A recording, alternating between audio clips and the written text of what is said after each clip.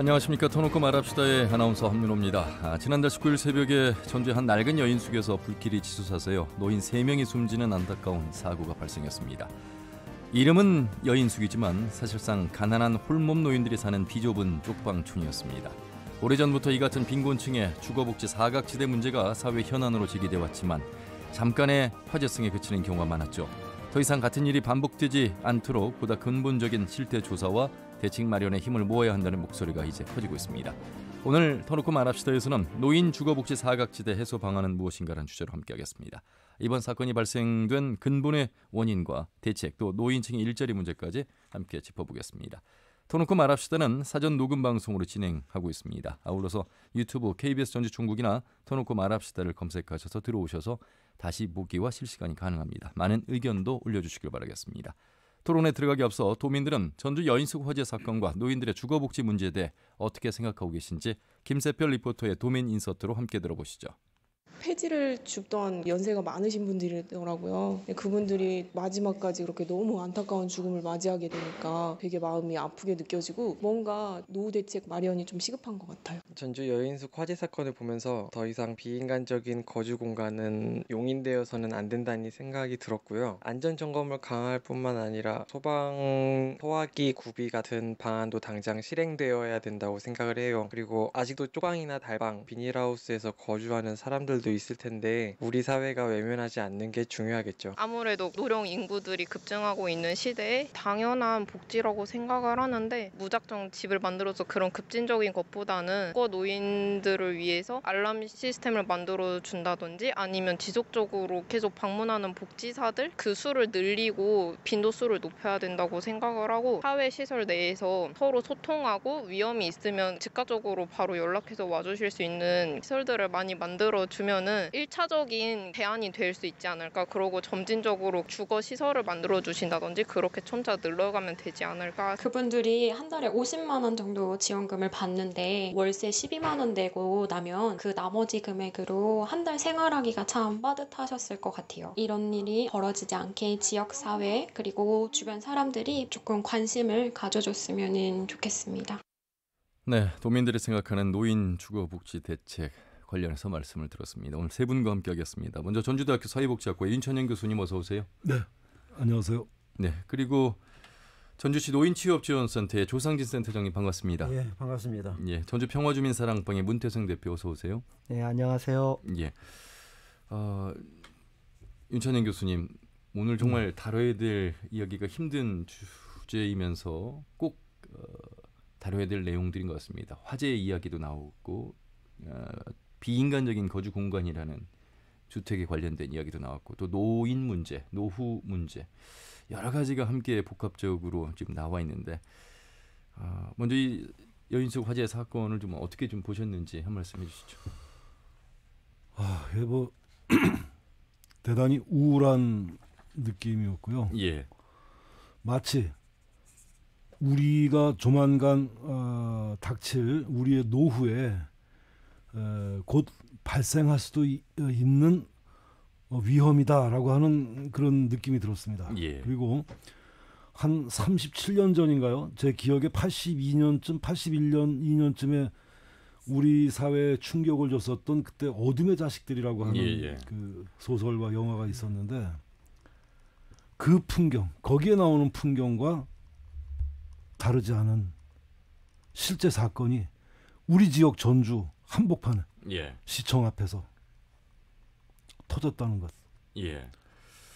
그 많은 시간이 지났고 우리는 그동안 많은 복지를 이야기하고 해왔지만 이렇게 어, 생의 마지막을 자기의 에, 집이 아니고 주거 공간이 아닌 곳에서 이런 어, 최후를 맞이한다. 그 물론 이제 지금 뭐 그 범죄 방화 혐의로 지금 수사가 이루어지고 있고 예. 뭐 합니다만은 뭐 가해자도 뭐 이제 노인의 대열에 이제 들어설 60대인 음. 분인 것 같고 예. 피해자들이 다 7, 80대 아닙니까? 그렇습니다.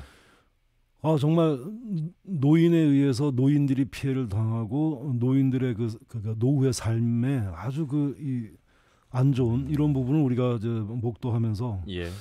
이건 우리 모두의 숙제이고 우리 시대 전체적인 과제로 봐야 그렇죠. 되는데 제가 서울에 있는 모 시민단체에 이 이야기를 좀 하면서 같이 좀 나서야 되지 않냐 했더니 서울에 있는 시민단체는 그냥 정서적으로는 공감하지만 자기들이 나설 문제는 아닌 음. 거로 이렇게 보는데 이거 정말 우리 전주뿐만이 아니고 서울 뭐 전국 곳곳에서 발생할 그렇죠. 개연성이 아주 큰 우리 사회의 어떤 허점 예, 예. 우리가 놓치고 있었던 아, 그런 문제가 지금 아주 그냥 어, 다 폭로된 그런 문제다. 그래서 중요하게 다뤄야 된다고 저는 어, 그런 생각을 해봤습니다. 예.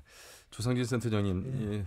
노인 취업 지원 센터에서 일을 하고 계시는데 7, 80대 달방 그러니까 한 달에 12만 원을 내는 두평 남짓 예. 이곳에서 폐지를 줍던 7, 80대 노인 세 분. 예.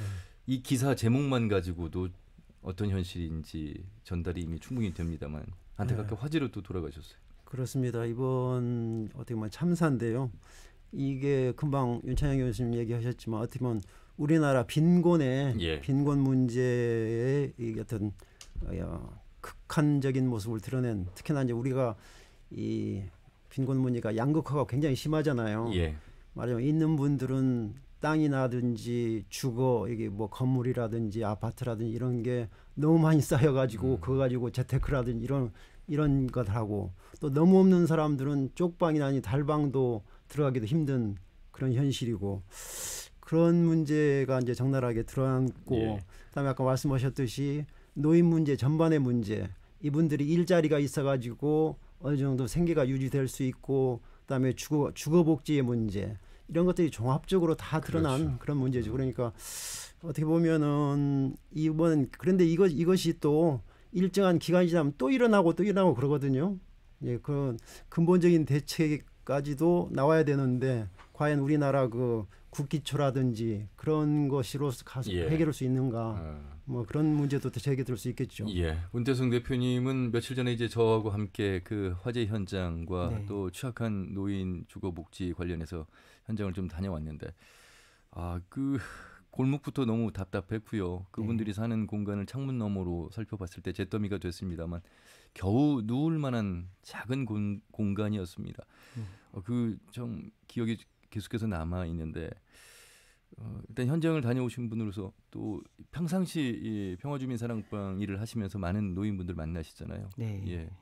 어떻게 접하셨습니까? 첫째는 저는 시청 뒤편인 줄 알았어요. 예. 언론을 통해서 볼 때는. 근데 막상 그 현장을 직접 가보니까 시청과 코아백화점 그 사이 시청 바로 앞에 어떻게 보면 시청 공무원들이 근무하고 있는 현대 빌딩인가요? 예. 그 바로 옆에 뒤에더라고요. 제가 그 자리에 서서 이렇게 좌우를 둘러봤더니 좌우 다 높은 빌딩들이 다 보이더라고요. 그렇죠. 예, 그 높은 빌딩 숲 한가운데에 예, 이런 쪽방이 이- 있는 것이 매우 저는 개인적으로 충격이었습니다. 음. 이것이 우리 현대 사회를 그 앞, 이 그늘을 제대로 보여주고 있는 음, 예. 현장 아닌가. 예. 전주시가 복지 행정을 펼치기는 시청 바로 앞에서 이런 일이 이 사건이 벌어진 것도 굉장히 충격이었고요. 예. 말씀하신 것처럼 불탄 그 장소의 조그만 창문 너머로 그방 하나를 봤을 때 그 화재 난 잿더미들이 그대로 있더라고요. 그렇죠. 그 잿더미들을 이렇게 보니까 그 잿더미들이 그대로 있는데 그 가운데 사람이 한 명이 딱 누울 정도의 공간만 비어 있더라고요. 예. 그것이 우리가 그 언론을 통해서 보는 화면을 통해서 보는 그 쪽방 사람이 누울 정도의 그 공간 하나만 있는 것이 어, 우리가 같이 살고 있는 현대 또는 전주의 우리 이웃의 한 사람으로서 예. 너무나 마음 아프고 괴로웠습니다. 예. 그 이걸 사건을 어디에서부터 어떻게 시작해야 될지 모를 정도로 다- 너무나도 많은 산적해 있는 현안들, 문제점들이 있습니다. 우선 뭐 일단 노인 세 분이 돌아가셨기 때문에 노인 관련해서 이 상황을 한 번 더 살펴봐야 될 것 같은데 윤선인 교수님 예. 폐지와 고철 주워서 생활하시는 분들이 생각보다 많이 계시고 그분들이 자기 주거가 아닌 이렇게 이제 쪽방이라고 하는 달방, 달색 12만 원을 내기 위해서 그런데 아마 하루에 그 폐지와 고철을 주워서 버는 돈은 고작 한 5천 원 정도에 불과하다고 하는데 그럼에도 불구하고 그 생활을 계속 유지해야만 했던 이분들의 삶 어, 이 정말 극빈층이라고 해야 되는 이분들의 삶에 대한 실태 파악이 더 안 돼 있다는 것, 예, 이- 이런 게 더 문제가 심각하지 않을까 싶습니다. 예. 뭐 노인복지법상 어, 보건복지부 장관은 매 3년마다 예. 노인 실태를 정기적으로 조사하도록 되어 있고요. 그게 아마 2017년인가 좀 최근 보고서가 그때 나온 것 같은데 예.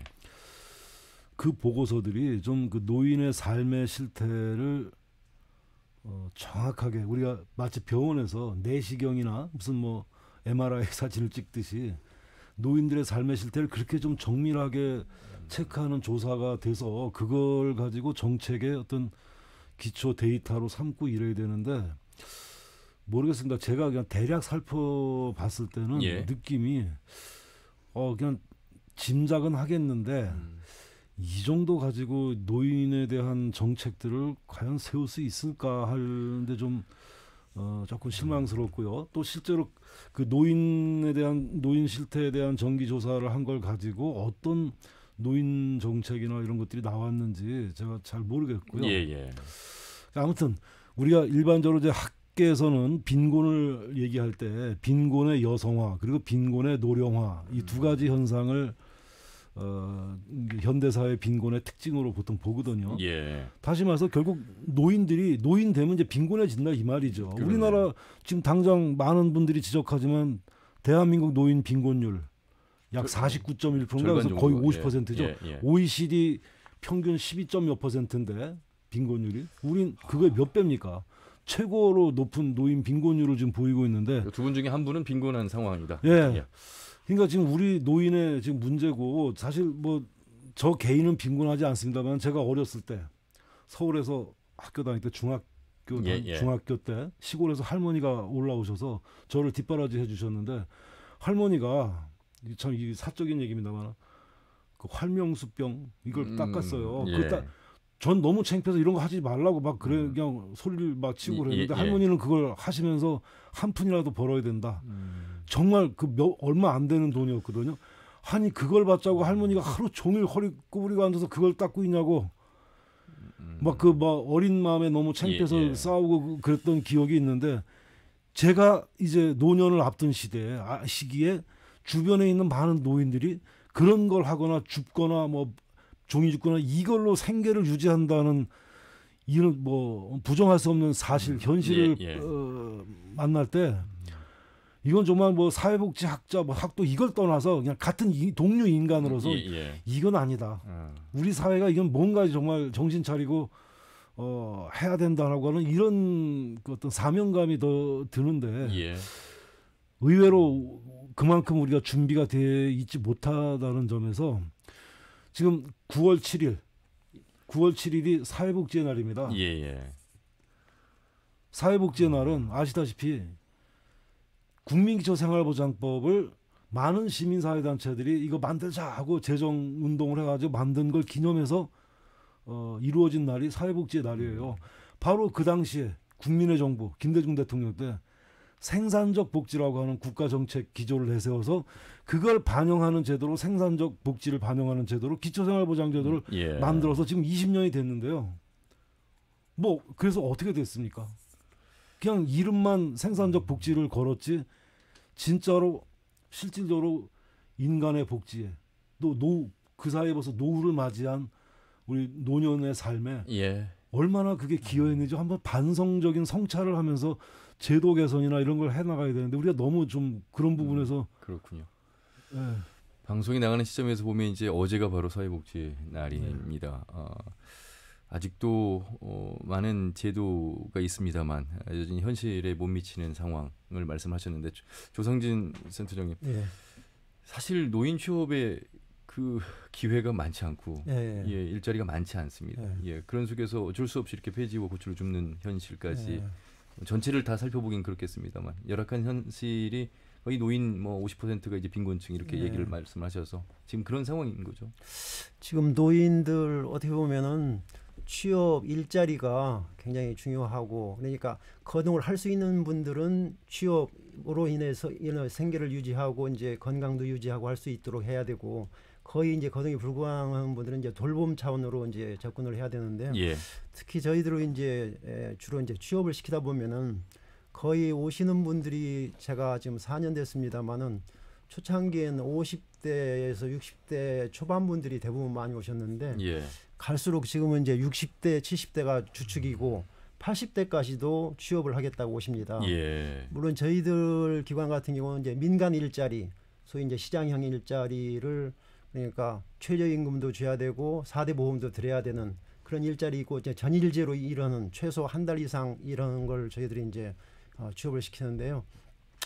대부분 우리나라 지금 일자리는 거의 다 공익형 일자리입니다. 예. 61만 개가 지금 올해 예, 노인 일자리로 하는데 그 중에 한 83% 정도가 공익형으로 해서 이제 27만 원 주고 하루에 한 뭐한 두세 그렇죠. 시간씩 해가지고 한 달에 30씩 하는 일자리가 대부분이고 저희들처럼 이제 민간 일자리는 예, 굉장히 적죠. 예. 그리고 한 15, 6% 정도가 민간 일자리인데 그 중에서도 소위 시장형 시장형 사업단이라고 해가지고 하는 것들이 그 중에 한 60%가 또 시장형 사업단입니다. 근데 예. 시장형 사업단 같은 경우는 지금 월 평균 한 26만 원 정도 받기 때문에 그것도 생계 유지에는 아주 크게 절대적인 도움은 되지 못하는 그런 상태죠. 예. 그래서 저희들 같은 경우 이제 근데 말이 그렇지 일자리 하나 이렇게 취업시키는 게 엄청 힘듭니다. 음. 그냥 이렇게 우리나라 지금 청년, 중장년도 취업하기가 힘든데 그렇죠. 노인들까지 일자리냐 이런 얘기도 나오는데 그러니까 결국은 이제 세금 쏟아부숴 가지고 하는 일자리가 대부분이고 예. 민간 일자리 같으면 굉장히 좀 어려운 상태죠. 아마 이런 쪽방에 계신 분들도 예. 어쨌든 그 일자리가 있어가지고 폐주 줍는 것보다는 조금 나은 일자리가 있었더라면 훨씬 좀 더 나은 생활이었었겠죠. 예, 예. 이런 비참한 것은 아니고 있고요. 예, 다시 여인숙 화재 사건으로 돌아오면 문 대표님 우리가 현장에서 봤을 때 한, 그런 쪽방이 한 10개 정도에서 12개 정도 됐던 것 같아요. 네, 예. 11개 정도 됐다고 하더라고요. 예. 그러면 한 달에 12만 원씩을 내면 10개면 이제 120만 원의 총 네. 수익이 나오는데 그 수익만큼 또 관리도 돼야 되는데 사실 네. 그 관리가 안 돼 있었던 부분도 문제였고 음. 기본적으로 그런 쪽방이라는 게 그, 가능한 것인지 이것이 지금 뭐 주택 그러니까 72년도에 지어진 건물이어서 목조 예. 주택이었고 여인숙으로 등록이 돼 있었나요? 예, 여인식으로 등록은 됐다고 하더라고요. 예. 실제로 이제 여인식으로 등록은 돼 있지만 예, 아주 오래된 건물이기 때문에 현행법에서 의무화 이제 화재라든지 소방의 안전 기준들을 의무화하는 데는 법에서 이제 적용 제외가 되었다는 것으로 확인되었고요. 예, 예. 야, 그러다 보니까 이제 목조 건물이고 쪽방이고 그다음에 화재 감지기나 소화기 이런 것들이 구비가 안 돼 있었던 그렇죠. 것으로 봤을 때는 예. 또 이제 더구나 폐지 고철들이 잔뜩 쌓여 있다고 하면 이 건물 구조를 화면에서 봤을 때 이렇게 원룸처럼 원형 쪽에 각각 돼 있어서 소방본부에서도 연기가 이렇게 하늘로 또는 외부로 빠져나갈 수 없는 그런 구조라고 이제 보도가 나왔거든요. 예. 그러다 보면 이 화재 사고가 나왔을 때 어, 몸이 불편하신 어르신들이 이 화재를 대피할 수 있는 것은 사실상 불가능하다고 음, 네, 봐야 네. 되겠죠. 뭐 이제 다른 언론에서는 이 이제 온전히 이 이제 사고로 인해서 숨지신 분들이 굉장히 많이 그을린 상태라고 표현되기도 했습니다. 아하. 그런 측면에서는 음. 이 화재나 안전에 대해서 연숙 쪽방의 이런 관리 실태가 점검이 돼야 되고 또 관리가 좀 필요하다고 보이는 거죠. 예. 뭐 두평 남짓 더위와 추위에 굉장히 어, 어려운 현실인 그 쪽방의 모습을 말씀해 주는데 비- 최소한의 주거 대책 그러니까 비인간적인 거주 형태라고 어느 시민께서 인, 인서트에서 말씀해 주셨습니다만 최소한 이 정도는 어느 정도 좀 현실 개선이 돼야 되는 게 아닌가 윤천임 교수님 뭐 그, 그래야만 소방 화재에 손길이 미칠 수 있는 상황이고 음. 예. 그렇죠.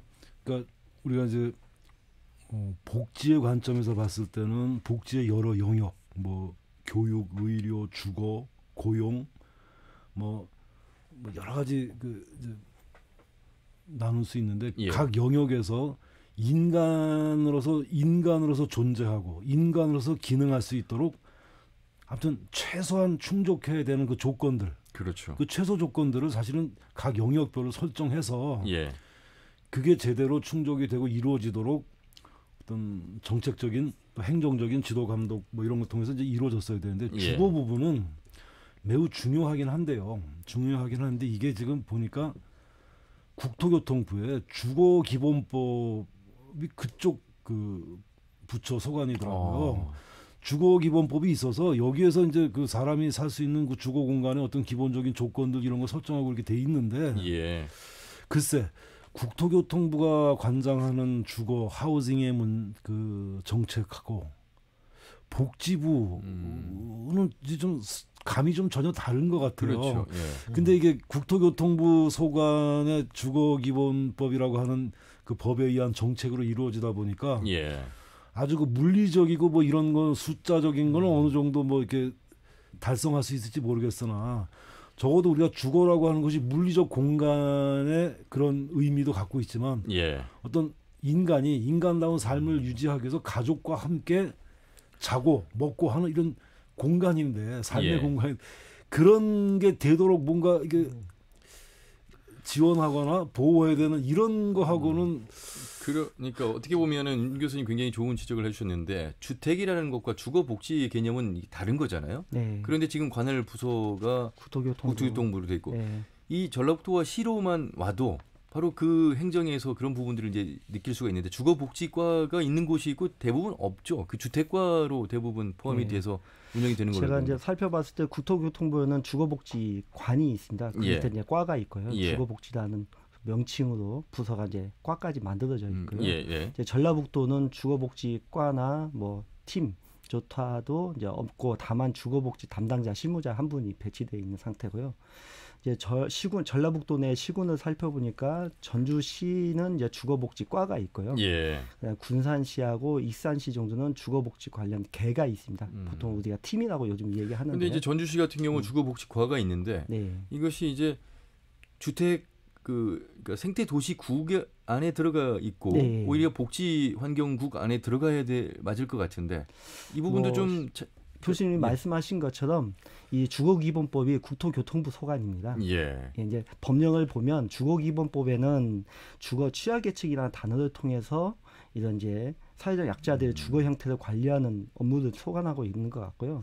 보건복지부에서는 노숙인 등에 관한 복지에 관한 법률이 있습니다. 예. 거기서는 이제 음. 또 이제 쪽방, 여관 연숙 이렇게 이제 노숙이라는 관점에서 봤을 때 복지 지원 말씀하신 여러 가지 복지 지원들을 하고 있는 거죠.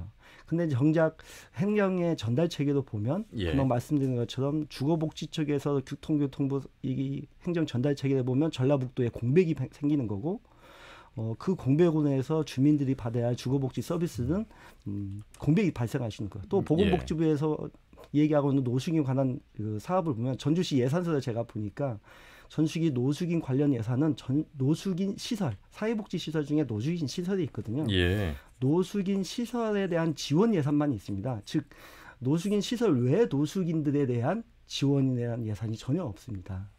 즉 어, 사각지대는 그런 곳에서 발생하는 거죠. 국토부와 보건복지부의 장벽에서 어, 업무 간에 서로 업무 떠넘기 형식에서 발생하는 거고요. 또 법률로 쪽방이나 여인숙에 대한 정확한 개념 정의가 없고 그냥 일명 지침에서만 예. 거론하고 있는 정도의 수준이다 보니까 예. 예산 배정이 어려운 거죠. 예. 그, 그러면 결국에는 이런 쪽방 연수 이런 주거 취약계층이 국토부도 아니고 예. 보건복지부도 아니고 어디서도 지원이나 실태조사도 어. 이루어지지 못하는 예. 사각지대가 발생하는 것 같습니다. 조상희 센터장님, 예. 그나마 전주시는 주거복지과가 어, 예. 구성이 돼 있네요. 예. 그리고 2011년도인가요? 전주시 주거복지 조례를 전국 최초로 만들어서 또 어, 주목을 받기도 했는데 이런 부분들이 이 사건을 바라보면 크게 활성화되지는 못한 것 같다라는 생각도 좀 들고요. 그렇습니다. 지금 예, 이제 주거복지에 대해서 이제 예, 본격적으로 얘기가 좀 나왔는데요. 예, 지금 뭐 우리 양 아, 교수님이랑 예, 대표님 잘 아시겠지만은 지금 주거복지 관련해 가지고 지금 음, 이제 기초생활 수급자 중에서 대개 지금 우리나라 우리나라 2018년도 말 기준으로 예, 예, 기초생활 보장 수급자가 약 174만 명 정도라고 그럽니다. 예, 그중에 이제 생계급여, 뭐 의료급여 있는데 그 중에서 이제 주거급여를 받는 사람이 153만 명으로 지금 어, 정부에서 공식 통계는 이렇게 나와 있고요. 근데 이제 문제는 이 이걸 받지 못하는 분들, 예. 소위 비수급 빈곤층 그게 문제죠.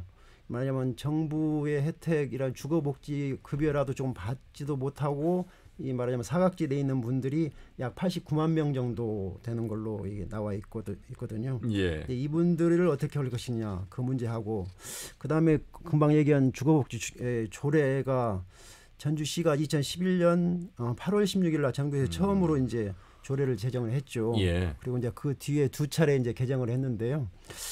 이, 이 내용을 보면은 물론 이제 그 당시에 그 서영군 의원이 지금 정의당이던가요? 예, 예. 그분이 이제 발의를 해가지고 했는데 이 복지 조례를 보면 굉장히 잘 되어 있습니다. 내용을 보면은요. 주거복지 기본 계획을 수립하도록 돼 있고 5년마다요. 그다음에 또 매년 그 연도별로 시행 계획을 하도록 돼 있고 그다음에 이제 주거복지위원회라든지 주거복지센터를 설치하도록 돼 있는데 예. 그래가지고 여기에 보면 이제 주거 기본 계획에는 뭐 주거 실태 조사라든지 주거 복지 사업으로 공공 임대주택 공급한다는 문제, 해피하우스, 뭐 집수리, 주택 바우처, 사회주택 공급, 청년 주거 안정까지도 굉장히 잘 돼 있어요. 예. 근데 문제는 이거, 이거 이런 규정들이 강제 규정이 아니라는 거죠. 음. 전혀 임의 규정이기 때문에 예를 아, 들자면 그렇군요. 예산의 범위에서 사업비를 지원할 수 있다 이런 식으로 돼 있어요. 예. 그러니까 예산이 없으면 뭐 의미가 없는 거죠. 그러니까 모양은 상당히 잘 그건 갖춰져 그럴 수밖에 있죠. 없을 예, 거예요. 예, 왜냐하면 대개 중앙 정부의 법률을 만들 때도 국회와 행정부의 예. 사이에서 그런 일이 벌어지고 지방에서도 예. 자치단체 행, 어, 이 집행부하고 의회하고 간에 이제 이런 걸 만들 때 어, 사전에 이게 조율을 하지요. 예. 자 이렇게 주거복지에 관한 조례를 만드는데 이런 걸 좀 행정에서 책임을 져야 한다. 예. 할수 있느냐, 자원이 있느냐, 뭐 이제 이런 걸 가지고 서로 이제 미리 파악을 하거든요. 그럼 그 과정에서 행정 입장에서는 이게 강행 규정으로 되게 되면 하여야 한다, 한다, 둔다 이렇게 되면 전부 행정의 부담으로 오기 때문에 예. 그런 그런 건 피하죠. 그런 건 좀 하지 말아달라.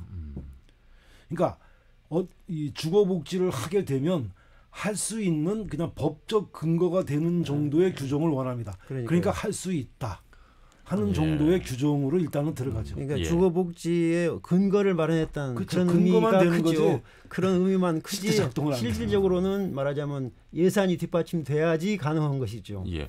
이뭐 네, 터놓고 말합시다에서는 제가 좀 터놓고 얘기하면 예, 예. 이 주거복지 조례가 이제 아까 서영군 의원님하고 지금은 이제 전주시의 주거복지 센터장으로 들어간 김영찬 씨하고 저하고 음. 몇 분이 주거복지 조례 당시에 아, 만들었어요. 예. 근데 초창기에는 이 주거복지 조례의 비하인드 스토리가 전주시 이제 지금은 도지사로 있는 송하진 시장 이 시절에 만드는 건데요. 예, 네. 그때는 전주시가 이 조례 제정을 반대했습니다. 아. 사실은 반대했는데 왜 이 제정이 되었냐라고 하면 그 해피하우스 사업을 해야 되는 사업 예산이 이제 생긴 거죠. 예, 예. 근데 이 해피하우스 사업을 조례나 법률의 근거가 없었던 거예요. 아. 내 조례 제정을 전주시가 반대하다가 이 해- 해피하우스 사업에 대한 예산을 집행하기 위해서 갑자기 조례 제정을 찬성하는 입장이 이 선회되었습니다. 안마도 비디오. 그러니까 결국 그 근거만 마련하기 위해서 이 조례 만드는. 예. 그리고 이제 그 그러니까 이후로 있다가 되는 그럼. 해피하우스를 위한 조례네. 예, 이제 그렇게 된 거죠. 이제 원래는 이제 명칭은 그렇지 않죠. 주거복지 조례는 이제 민간에서 서영군 의원님을 설득해서 서영군 의원과 같이 이제 어, 의원 조례 제정을 시도했는데 예. 어쨌든 과정은 그런 거고 지금에는 이제 김영찬 씨가 전주시의 주거복지센터로 주거 공무원으로 민간 공무원으로 들어간 거죠. 그래서 조례제가 두 번에 걸쳐서 제, 이제 개정이 되었습니다. 아까 말씀하신 것처럼 우리 이제 어, 그렇게 제정이 되었고 어, 어느 지자체보다 조례 제정이나 사업은 열심히 한다고 그렇게 평가는 받고 있습니다. 다만 그것이 이제 예산이 수반돼야 되는 예. 것이고 그것이 이제 얼마 전에 주거 이제 실태 조사도 했어요. 이 예. 조례에 근거해서. 근데서 제가 좀 확인해 보니까 이 실태 조사 결과를 보니까 비주택 이게 국토부에서 하고 있는 주거 실태 조사는 그 사각지대가 뭐가 있냐면 비주택, 주택이 아닌 거죠. 쪽방, 예. 여관, 여인숙, 비닐하우스, 고시원, 뭐 컨테이너 이런 건 아. 주택이 아닌 거예요. 아, 그렇죠. 그러니까 예. 주거 실태 조사에 이 쪽방 여인숙은 조사 대상이 아닌 겁니다. 아. 그래서 여기서 사각지대가 발생하는 거예요. 이걸 정확히 좀 알아야 되는데 그러니까 전주시 실- 주거 실태 조사에도 이 조사는 들어가지 않은 거죠. 아, 그렇기도 하고 이 세 분 경우도 보면 지금 그 주민등록 말소라든지 가족 이웃들과 또 단절된 음, 분들 그렇다 네. 보니까 이제 파악이 더 덜 되는 파악하기 어려운 그런 현실도 좀 있는 것 같고요. 그 제가 지금 우리가 주거에 이제 초점을 맞춰서 이야기하고 예, 있는데 예. 뭐 그럴 수밖에 없는 사건이기도 하지만 그렇게 하면서도 우리가 잊지 말아야 할 게 뭐냐면 복지가 접근해야 되는 인간의 문제는 매우 통합적이에요. 예. 매우 통합적이고 연결이 다 돼 있고 그런데 우린 너무 분절적으로 접근하는데 익숙해져 있어요. 음. 자, 조금 전에 우리가 기초생활보장제도 얘기했지만 기초생활보장제도도 결국 빈민을 대상으로 하는 건데 예. 빈곤의 문제는 너무나도 총체적이고 전체 문제가 이렇게 통합적으로 연결이 돼 있거든요. 예. 그런데 기초생활보장제도가 보세요. 그 소위 잘난 전문가들이 하도 이래야 된다 저래야 된다 주장하다 보니까 기초생활보장 급여가 지금 분절적으로 전부 바뀌었어요. 의료급여 따로 나가 있고 주거급여 따로 나가 있고 어 뭐 교육급여가 그래서 하나의 급여만이라도 뭐 아니 가난하면 이번에 그 이 사고로 돌아가신 분들 지금 당장 주거 문제만 얘기하고 있는데 예. 그분들도 일자리 문제도 있었지만 또 건강 상태는 어쩐지 제가 그렇죠. 모르겠습니다. 예. 그러니까 빈곤이라고 하는 이 문제는 어 주거에도 의료에도 건강 의료에도 뭐, 뭐 일자리 고용 소득에도 여러 가지 문제를 다 가지고 있는데 너무 한 가지에만 우린 그 선정적으로 거기에만 부각시켜서 그걸 그것만 하면 다 되는 줄 알고 음. 주거 주거 주거 급여 또 물론 그때는 다른 거 빈곤 문제 뭐 터져도 할 때는 주거 문제 별로 신경 안 쓰니까 그때는 얘기 안 하다가 예. 이제 이런 거 터지면 아, 중요해. 그래서 또 주거 막 얘기하는데 주거 문제만 가지고 주거 복지만 가지고 모든 게 해결되는 거 아니거든요. 예. 그좀 주거 복지에 초점을 맞추더라도 빈곤 문제가 가지고 있는 아. 총체성과 통합성을 좀 생각하면서 얘기해야 된다. 이제 그런 취지에서 말씀드렸습니다. 통합적으로 살펴봐야 되는 총체적으로. 예, 음, 또 총체적으로. 이제 조금 더 추가하면 아까 이제 주거복지 차원에서 국토교통부의 실, 주거 실태 조사에서 사각지대가 발생하는 점 얘기했는데요. 이제 보건복지 쪽에서 실태 조사에서나 현황에서 사각지대가 발생하는 것이 뭐냐면 국민기초생활보장법이나 각종 복지 지원 사업은 거주지를 중심으로 하고 있습니다. 주민등록 지- 주소지를 중심으로 관할되고 음. 있거든요. 예, 예. 사회복지 전담 공무원들이 조사를 할 때 자기 관할에 있는 주소대가 돼 있냐 안 돼 있냐 이게 굉장히 중요한 거죠. 어, 그것이 우선순위로 그 예. 그냥 시작을 하시는 그러니까 제가 주민센터에다 전화하거나 시청에 전화하면 이 돌아가신 세 분 모두 다 이 선호송동의 주소지가 안 돼 있는 거죠. 아, 근데 여기서 기본 조사 자체가 주소지가 안 돼 있으니까 다른 못 지역으로 찾아요. 주소가 돼 있으니까 네. 물론 이제 전주에 있는데 다른 동에 있다고 하더라고요. 그러면 여기서 사각지대 가 발생하는 거죠. 우리 관할 아니다라는 거예요. 주거복지 교통부에서도 아 비주택은 우리 관할 아니다. 예. 보건복지도 그 주소지가 우리 주민센터로 관할 지역이 아닌 또 우리 관할 아니다. 이렇게 해서 사각지대가 자꾸 발생하는 거죠. 이것이 저는 이제 행정의 전달 체계에서 업무 간의 장벽 때문에 발생하는 거라고 봅니다. 또 법률도 그- 이제 거기에 맞춰서 법률도 이제 제- 개정이 돼야 되는 필요성이 있는 거죠. 예. 그게 이유가 그래요. 전에 뭐 서울 문정동에서 뭐 개미마을에서도 그런 사건이 있었는데 나무 나무 오래된 고목나무에다가 자기 주소지를 해달라는 분이 있었어요.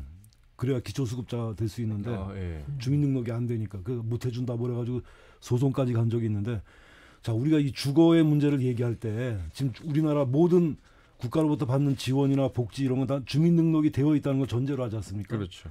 근데 아닌 사람들도 많거든요. 음. 자 그런데 이 문제가 왜 사각지대로 자꾸 나, 생기냐면 헌법상 거주 이전의 자유가 있어요.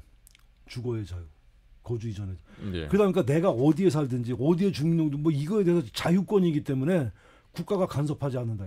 그런데 지금 이번 사건에서도 봤지만 또 지금 문태성 대표 지적했지만 우리가 국가로부터 어떤 보호를 받고 지원을 받으려면 전제가 주민등록이 되어 있어야 되는 거예요. 그러다 보니까 주민등록이라고 하는 것 어디에 그 등록을 하는 것 어디에 산다는 것은 자유권의 문제가 아니고 이제 생존권의 음, 사회권의 문제이기 때문에 이거는 국가가 적극적으로 나서서 챙겨야 되는 거예요. 아, 자유권이니까 국가가 간섭하지 않겠다고 내버려 두면 그러면 이제 엄청난 사각지대가 생기는 거예요. 예. 아, 그, 지금 주거 관련된 이야기를 주로 말씀하셨는데 사실 주거복지 대책이 없는 것이 아니고 보니까 공공임대주택 주거급여 뭐 큰 축을 보면 이제, 예. 네, 이런 것도 있죠. 그런데 이제 임 대표님과 제가 또 평화동에 네. 그 임대주택 영구 임대주택. 영구 임대주택을 다녀왔습니다만 네. 그곳에 들어가는 것도 아까 말씀하신 주민등록 관련해서 어떤 절차 예, 그렇죠. 주민센터에 이제 조건이 또 있던데요. 예, 그 어려운 부분이 신청해야죠. 예.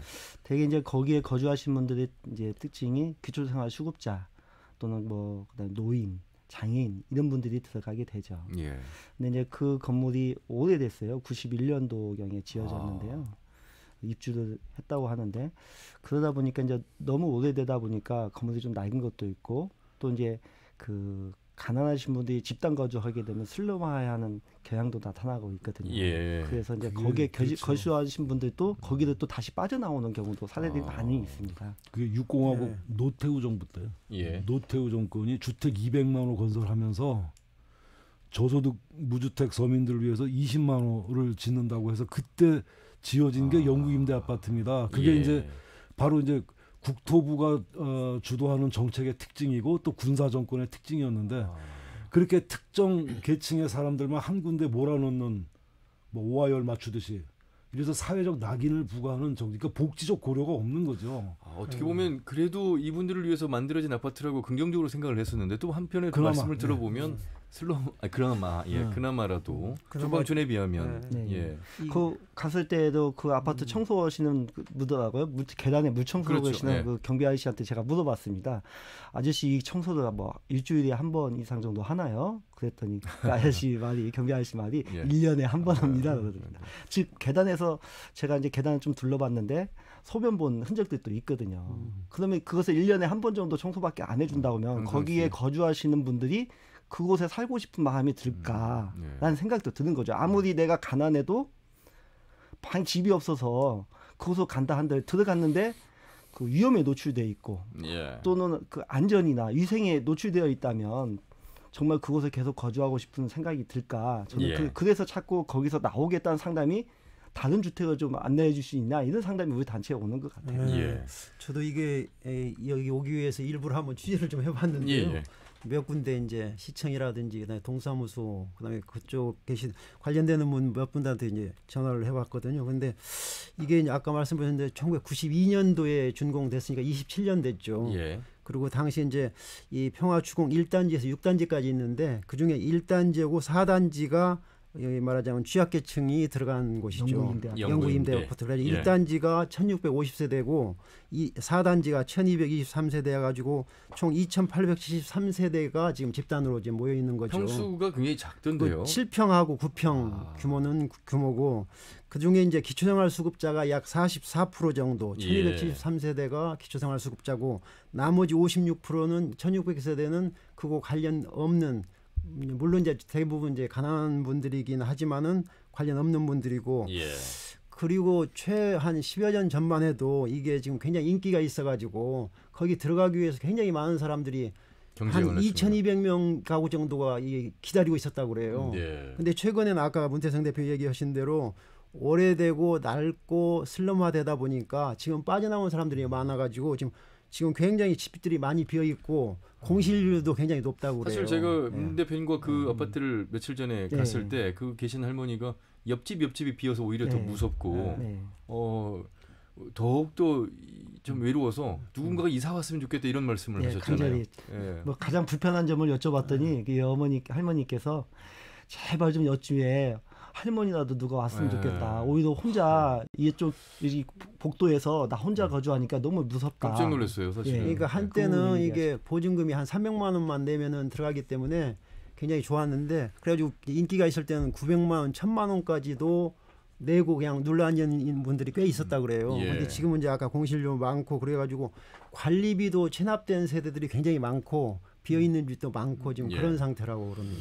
그러니까 이제 그게 그 정책 80년대 처음 할때 그때 문제 제기하고 우려했던 것들이 지금 그대로 나타나는 건데 뭐냐면 아무리 집 없는 사람들 가난한 사람들을 위해서 집을 지어주는 정책이긴 했지만 예.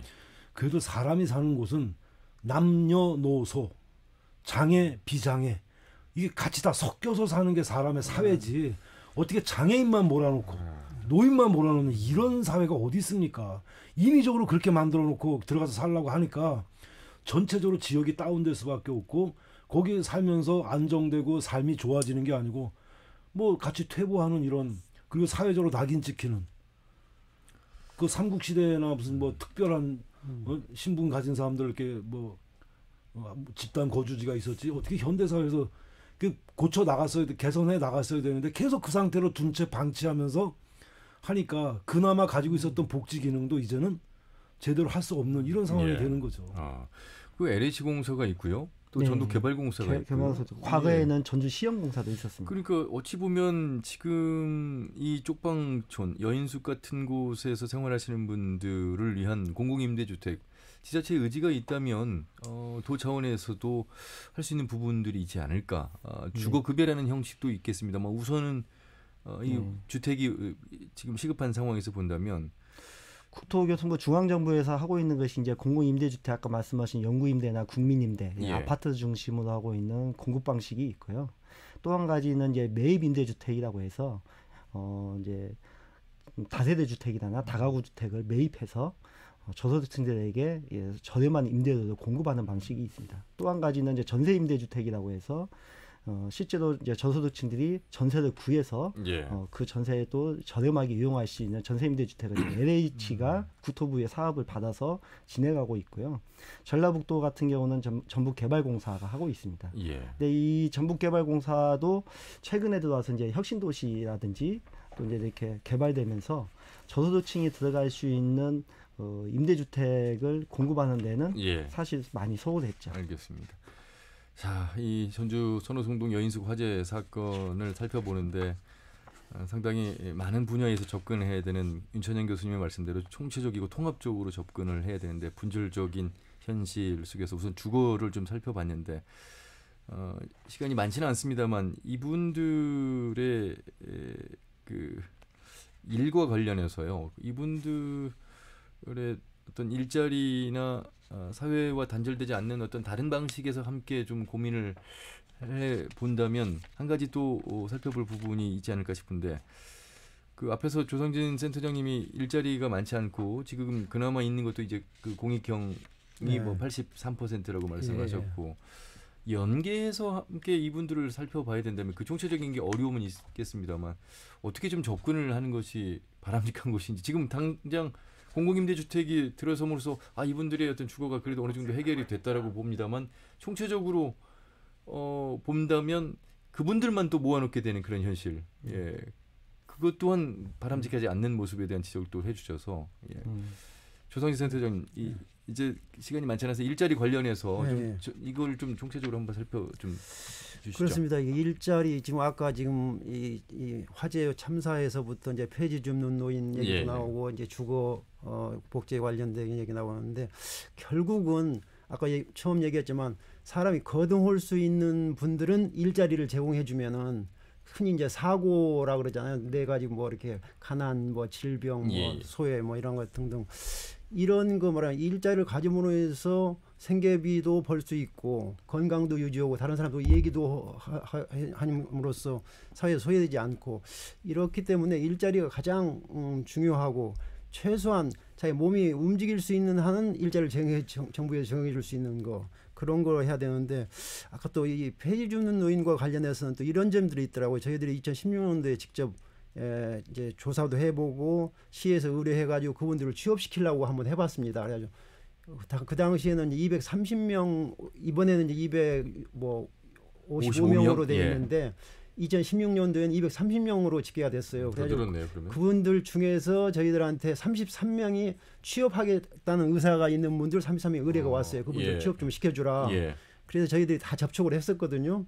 근데 접촉을 해보니까 실제로 말하자면 굉장히 어려운 게 33명 중에서 저희들이 한 10번 이상 전화를 해도 전화를 안 받는 분들이 상당히 계시고 예. 그다음에 이제 나는 그런 취업 같은 거 처음에는 하겠다 의사는 말하자면 일자리가 있으면 나는 폐지 안 주겠다 했지만은 나중에 취업을 포기 나는 취업 안 한다 이렇게 하시는 분도 또 계시고 예. 그다음에 이제 에, 노인 일자리 소위 공익형 그 당시에 20만 원 지금 이제 27만 원 주는 자리로 이제 갈 수 있는 분들은 여덟 분 정도는 그쪽으로 했고 그다음에 마지막으로 이제 민간 일자리에 취업을 시키려고 해, 해가지고 한 여덟 분 정도 정도가 자기들 하겠다 해서 접촉을 했고 그분들 중에서 일부 이제 센터도 방문하고 그랬는데 결국은 그분들 중에 딱 한 분밖에는 안 됐습니다. 대부분 그 당시에 이제 어뭐 행정실장 초등학교 행정실장 했던 분인데 자녀 빚 보증 서 가지고 쫄딱 망해가지고 이제 그래가지고 결국은 이분 한 분은 이제 경비로 했는데 예. 오래 하지 못하고 또 음. 수입이 있으면 또 이게 이, 이 생계비 감이 차감되는 뭐 그런 제도도 있고 예, 예. 그렇죠. 기초생활보장제도가 예, 이 예. 보충급여 방식이라 그리고 또 그런 점도 있고 근데 또 이게 폐지 줍는 노인들 보시니까 보면 자유스럽게 대부분 이게 취, 이 말하자면 자기가 아무 때나 폐지도 줍다가 어떤 틀에 이렇게 이 박혀버리면은 부자유스러워 가지고 말하자면 어떻게 보면 꼭 대부분의 경우 지금 막 뭐 전국적으로 한 6만 6천 명 정도 된다고 지금 추계가 나와요. 예, 예. 폐지 줍는 노인 전국적으로 그런데 그분들 중에 상당 부분은 그 생계 위협 생계만을 위한 것이 아니라 틈틈이 말하자면 그 폐지를 줘갖고 약간 소일거리도 되고 돈도 좀 마련하는 음. 그런 분들이 거의 절반 이상이 아닌가 저희들은 이제 그렇게 파악이 됐고요. 그리고 이제 그분들을 집단으로 모아가지고 시니어 클럽에서 시장형 사업단 형식으로 해서 무슨 뭐뭐 같은 거 북어 같은 거 뜯는다든지 멸치 같은 거 이렇게 깐다든지 아니면 뭐 볼펜 조립 한다든지 이런 사업단으로 예. 한번 모이도록 해보려고 그랬더니 그게 안 되더라고요. 그게 쉽지 않은 것이고 그다 그렇지 않으면 폐지 주는 노인분들을 한 곳에 폐지를 예, 예, 모아가지고 놔두면은 와서 이 산정해 주는 거. 그래 그렇지 않으면 고물상하고 연계해가지고 협동작업을 만드는 거. 예. 여러 가지 구상을 해봤는데 아. 지금 현재로 되는 것은 거의 없습니다. 기껏해야 야광 조끼, 리어카 제- 제공해두는 정도. 그 그런 겉으로 보이는 그 정도지 아. 예. 거의 전국적인 거의 마찬가지인 것 같습니다. 이것은. 네. 음, 또 그렇게 지원을 하려고 해도 그게 네. 잘안 되는 부분이네요. 그 전주시가 이 65세 이상 노인 대상으로 폐지 수거 노인 실태조사 255명 이것도 정확한 숫자일까 싶기도 하고요. 예, 그래서 파악하기도 어려울 것 같아요. 예, 그 전수시에다 전화를 해봤더니 어떻게 네. 조사했냐, 어떤 실태 조사에 조사 항목이나 설문지가 있냐 했더니 그런 건 없고 어, 이제 구청을 통해서 해당 주민센터에 사회복지 전담 공무원들이 기존의 그 명단을 지금 가지고 있었나 봐요. 예. 음, 관할 구역 내에 그분들에게 다시 전화 작업하는 정도. 그래서 아직도 폐지를 줬냐, 이제 이제는 안 줍냐 하는 정도의 수준인 거고요. 예. 뭐 서울시처럼 고물상에 직접 방문해서 뭐 전수조사 형태로 조사한 건 아니고 현황 파악 정도인 거고 이 데이터는 사실 어떻게 뭐 정확한 데이터도 아니고 통계도 예. 아니고 그냥 전주시가 이 정도 우리 지역의 노인분들을 위해서 아까 간단한 지원 정도도 하고 그냥 홍보의 수단이지 않을까. 예. 저는 오히려 그렇게 좀 좀 평가해 볼 수 있는 그런 실태 조사였다라고 보이는 거죠. 예. 윤찬인 교수님, 조성진 센터장님 사고 말씀하셨습니다. 경제적 음. 빈곤, 질병, 사회로부터의 소외, 고독. 그러니까 이거는 누구는 누구나 노인이 되면 어, 그 노인이 되지 않을 수가 없기 때문에 그래서 이 네 가지의 어떤 고통에 대해서는 함께 공감하는 사회적 시스템 그리고 분위기 뭐 이런 부분들이 필요하다는 말씀을 좀 해주신 것 같아서 예. 그래서 예, 이제 마무리를 해가는 시점에서 본다면 조금 더 우리가 어, 이 급변하고 많아지는 그런 노인들을 위한 어, 어떤 준비라고 할까요? 어, 그런 부분들을 좀 인식하는 것부터도 예. 좀 어, 비롯돼야 되지 않을까 싶어요. 예, 지금 이 신사회적 위험이라고 어, 꼽히는 게 바로 저출산 고령화입니다. 예, 그래서 지금 고령 사회를 우리가 가고 있기 때문에 심화될 거고 누구나 다 노인이 될 거 아닙니까? 정부의 모든 정책이 이 고령화에 맞춰서 이걸 아주 중요 그 변수로 삼고 정책을 만들어 가야 되는데 그런 부분에서 너무 우리가 말만 고령화 고령화 했지 실제 어떤 문제가 생기고 어떻게 대처해야 되는지 이 부분에 대해서 절실하지 못했다. 예, 이런 걸 이번 사건을 계기로 정말 우리가 절실히 반성하면서 이거 어, 준비해 나가야 되긴 된다. 예, 그렇지 않으면 더 큰 재앙이 올 거다. 저는 이렇게 생각을 해봅니다. 예. 우리나라가 노인 자살률 전 세계에서 1위라고 합니다. 전북 지역도 어, 뭐 노인 증가율을 본다면 예외가 아닐 것 같고 또 빈곤율은 역시 한 50% 정도 두 분 중에 한 분은 빈곤. 그렇다면 자연스럽게 이 사고라고 하는 네 가지의 고통 이런 부분들에 대해서 지역이 또 할 수 있는 분야, 지역이 또 준비할 수 있는 것들이 있을 것 같아서 문태성 대표께서는 어, 평화주민 사랑방을 운영하시면서 그 제가 사무실도 좀저 가서 뵀지만 일하시는 모습 항상 그 노인분들하고 전화 통화하시고 외로워서도 전화하시는 분들도 계실 거고 이런 네, 네 가지 그렇죠. 고통을 떠나서도요. 예, 예. 예, 참 어, 해결하기 한 번에 어렵겠습제만 예, 저희 단체의 이제 주된 사업이 사회적 약자들의 권리를 옹호해 주는 사업입니다. 예, 그러다 보니까 그냥 국민기초 생활 보장 제도 기본 상담을 해서 수급자분들이 부당하게 수급자에서 어, 보장이 중지되거나 또는 생계급여 등 급여가 지나치게 사, 어, 잘못되게 계산되어서 삭감되는 이런 사례도 많고요. 또 심지어는 기초수급자가 돼야 되는데 기초수급자들 안 만들어 주는 사례도 많이 있습니다. 예. 그뭐 뿐만 아니라 노인분들은 아까 이제 주택이 쫓겨날 위기에 있다. 연구임대 앞에서 트에서 그럼 나는 어디 가서 살아야 되냐 이런 상담도 들고요. 예. 어쩌면 지역의 빈곤층이고 또 사회 사각지대에 계신 분들이 주민들이 저희 단체에 상담하고 그것을 해결해 주는데 저희가 이제 각종 전문가들 의뢰도 받고 뭐 공무원들과 행정하고 다툼을 통해서도 해결하고 있는데요. 예. 저희 관점에서는 무엇보다도 이번 사건을 통해서 사각지대의 사각지대 어허. 예. 이것들을 행정이 너무 관가하고 있다. 예. 너무 무시하고 있고 뭐 이런 사건들이 언론에 이슈화되고 발생할 때마다 잠깐 하고 또 끝나는 거. 뭐 완전 근본 문제를 해결할 수는 없, 없어도 기본적으로 이 사각지대 사각지대에 계신 대한 조사 그리고 이분들에 대한 예산 지원 사업 마련들은 좀 만들었으면 좋겠는데 예. 단적인 예로 예를 들면 그 간병비가 없어서 그 수급자 분이 간병비가 없어서 병원에서 쫓겨나는 일도 있어요. 간병비 전라북도나 저, 각 시군에서 간병비 지원이 없거든요. 근데 간병비가 한 달에 100만 원씩 나와요. 그러면 이분이 수급자인데 보호자도 없을 경우는 어디서 병- 어떤 병원이 받아주겠냐? 의료 비용보다 오히려 간병비가 더 비싸다라는 현실이 예. 나오고 있는데. 예, 그렇죠. 그런 사각지대에 대한 부분에 대해서 지방 정부인 전라북도와 전주시 각 시군들이 너무 소홀하게 아예 관심조차 안 갖고 문제 제기를 해도 귀국여 듣지 않는다. 예. 이런 것들이 이제 이번 사건의 뭐 계기를 통해서 좀 관심 좀 가졌으면 좋겠다. 예. 센터장님은 아무래도 이제 노인 취업 어, 네. 관련해서 센터를 운영을 하고 계시기 때문에 네. 혹시 전주시 이외에도 나머지 13개 시군에도 이런 노인 일자리 센터라든지 노인 취업 지원 센터가 있습니까? 이렇게 지금 제대로 기초자치단체에서 하고 있는 것은 전국적으로 몇 군데 안 됩니다. 예. 전주하고 뭐 창원 몇 군데 안 되고요. 그럼 전라도는 광역으로 전주만 있는. 거네요. 예, 예. 그렇죠. 그좀 음, 그런 것들이 일단 하나하나 더 생겨내는 네. 지자체 의지가 필요할 것 같아서 어, 마무리를 좀 해주신다면요 관련해서요. 저는 이 가난의 문제가 가난이라고 해가지고 그게 예 뭐라 그럴까 한 사람의 노력에 의해서 될 수 있는 부분과 국가나 사회가 같이 해줘야 할 부분들이 있을 텐데 가난이 어떤 죄나 형별이 되어서는 안 되지 않느냐.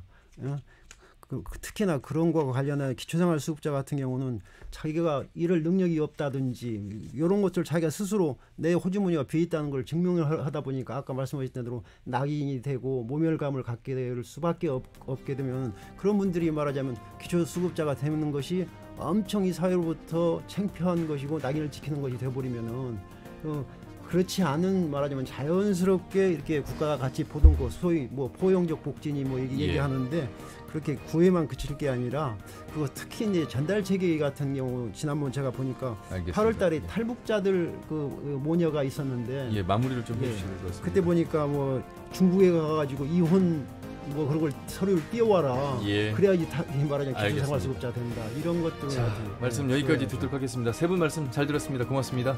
네. 예, 윤천영 교수와 문태성 대표, 조상진 센터장과 함께했습니다.